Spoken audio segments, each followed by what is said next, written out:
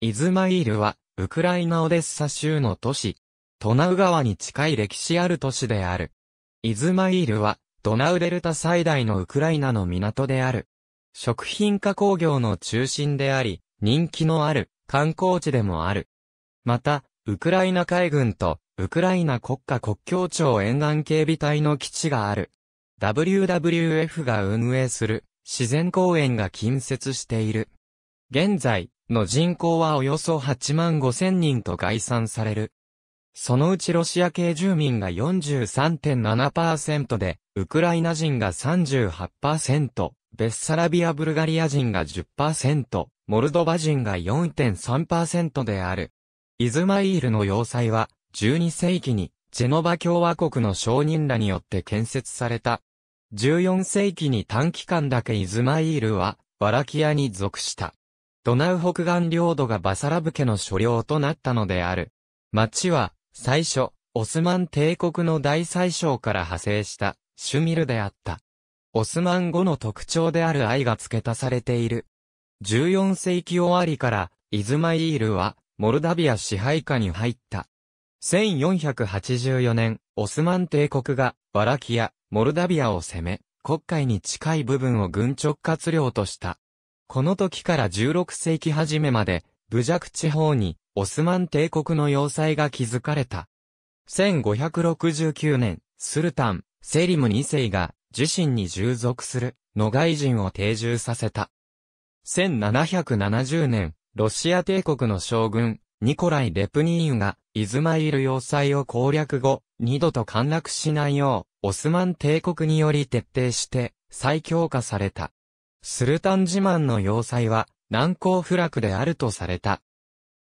しかしロト戦争の最中、ロシア帝国軍司令官、アレクサンドルス・ボーロフが1790年12月22日に吸収した。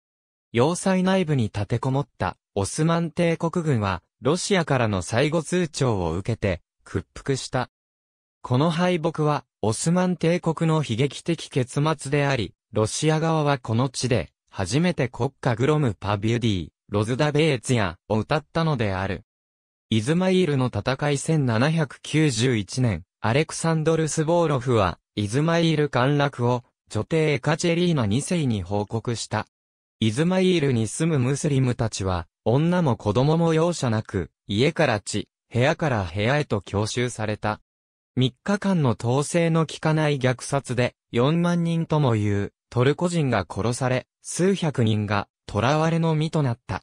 スボーロフは虚勢を張り、後に、イギリス人旅行者に対し、虐殺が起こった時、私は、自分のテントへ行ってむせび泣いた。と語った。戦後、イズマイールは、オスマン帝国へ返還されたが、ロシア軍は1809年9月14日に取り戻した。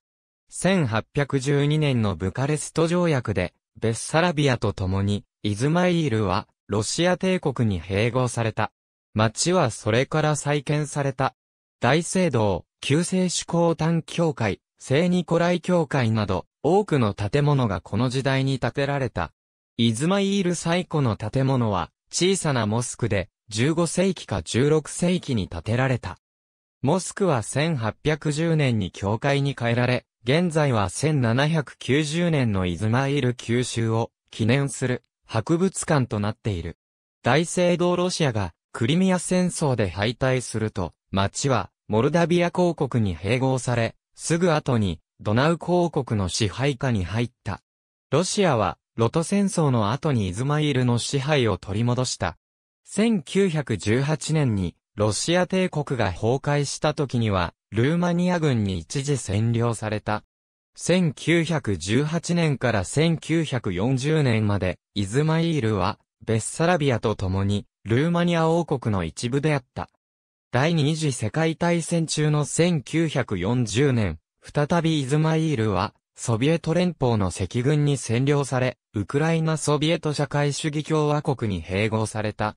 しかし、イズマイール周辺地域は、バルバロッサ作戦に派兵したルーマニア軍が1941年から支配した。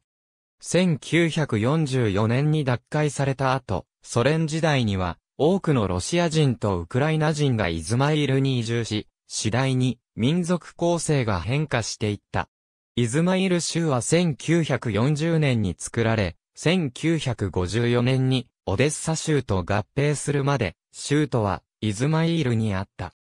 1991年8月24日からイズマイールは独立したウクライナの一部となっている。ありがとうございます。